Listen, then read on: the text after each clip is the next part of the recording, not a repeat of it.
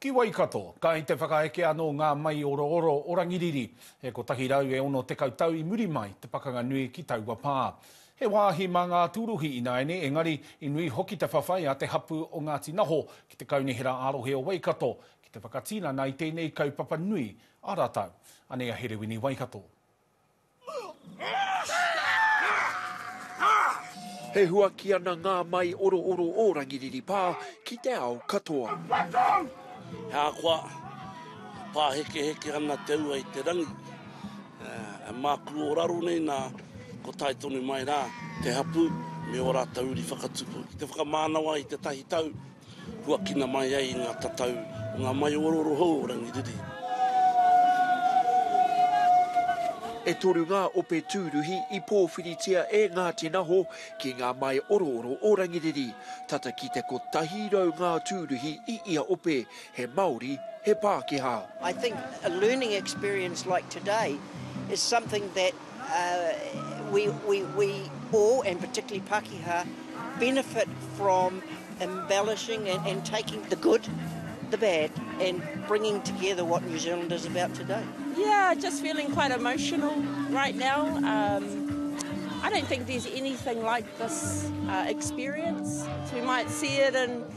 or hear it in our our whakapapa and our korero but I think it's incredible. When you see the the remains of a past site, you know it's all sort of knee high and you have to imagine um, whereas to see it all, you know, 10 feet tall, uh, it's quite a different experience.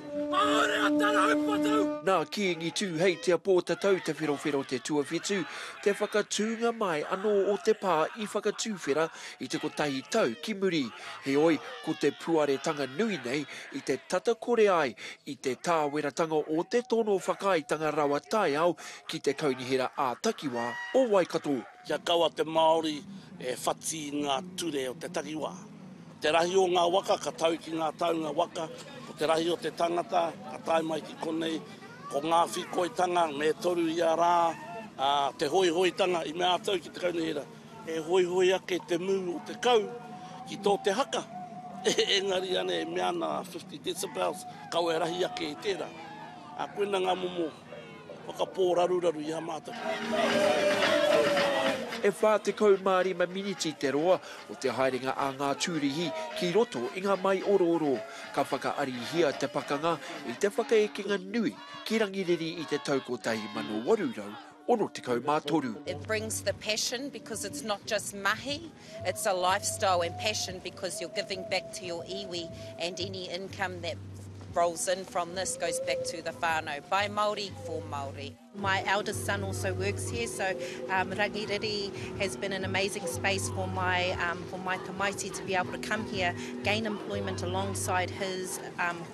kua mahi his friends. It's a dream come true this job, uh, mōku ake, kei waho te nuinga o aku mahi.